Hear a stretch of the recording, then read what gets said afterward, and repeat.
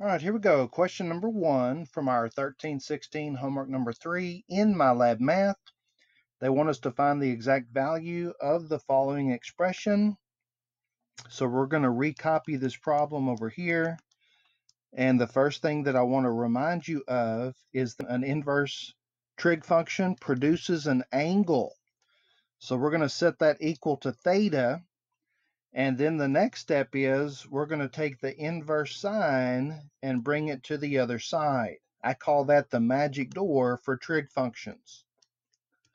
So what's going to happen is when you take an inverse trig function through the magic door, it magically turns into regular sine here, okay?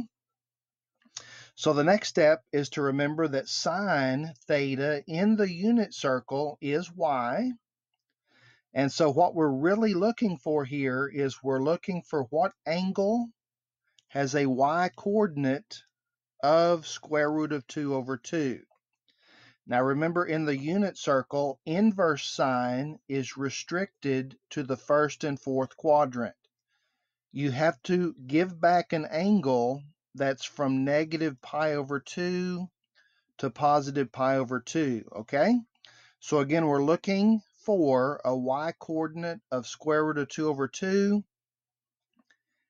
And here it is. This is uh, where we have a y coordinate of square root of 2 over 2 that's within the allowed range, okay? So that answer is going to be pi over 4 or 45 degrees. The angle we're looking for is pi over 4.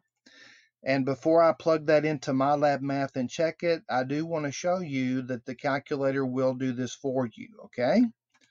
So we can input inverse sine of square root of 2 over 2.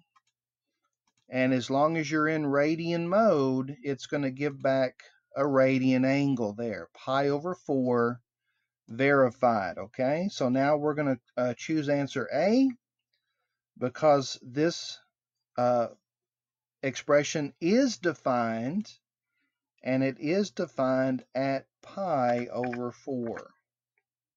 And there you go. Man, I hope that was helpful. If you have any questions or comments, feel free to put those in the comment section below, or you can text me. And thanks for watching.